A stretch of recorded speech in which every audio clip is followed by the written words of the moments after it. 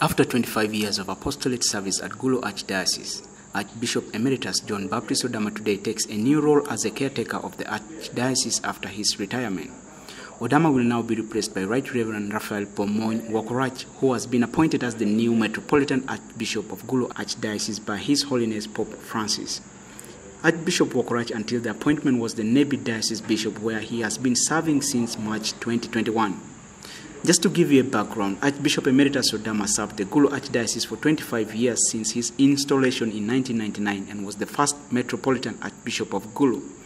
Speaking to hundreds of Christians who turned up at St. Joseph's Cathedral in Gulu City on Friday, Archbishop Emeritus Odama announced his retirement and the new successor for the Archdiocese of Gulu. The Apostolic Church in Gulu has the pleasure to announce that on the 22nd March 2024, His Holiness Pope Francis has appointed Metropolitan Archbishop of Gulu, the Right Reverend Raphael p'Mony Wokorach, MCCJ, which is Comboni Missionary of the Heart of Jesus, until now, Bishop of Lene. The Holy Father has accepted the resignation from the pastoral care of the Archdiocese of Gulu, presented by Archbishop John Baptist Odama, for reaching the age limit according to Canon 401, paragraph 1 of the Code of Canon Law.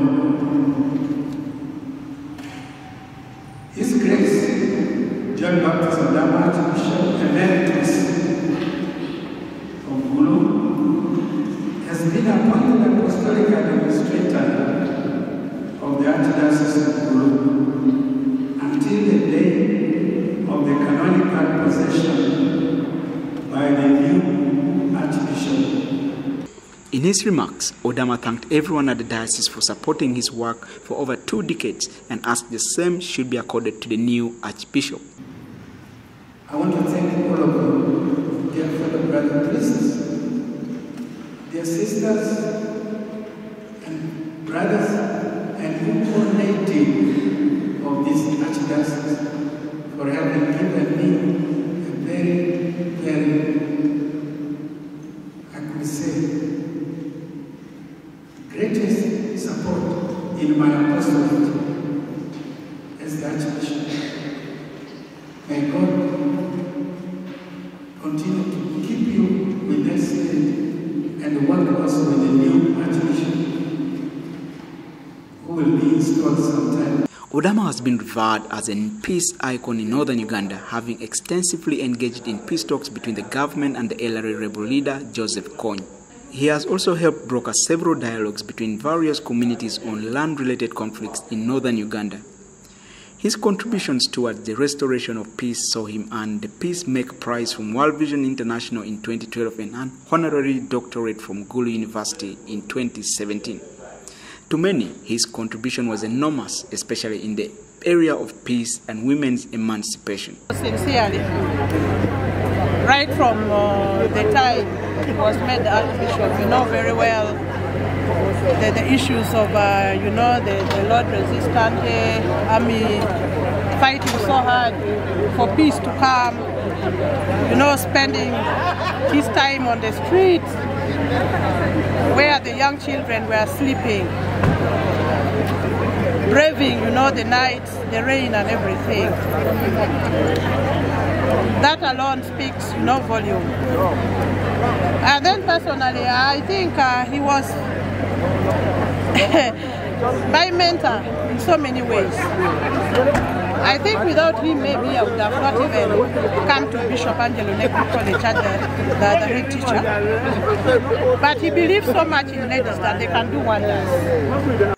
And to other members of the laity in Acholi sub-region, the appointment came as a shock as they had anticipated a son from the soil would be appointed this time to head the Archdiocese of Gulu. This announcement has not been excited because it is not the expectation of the people.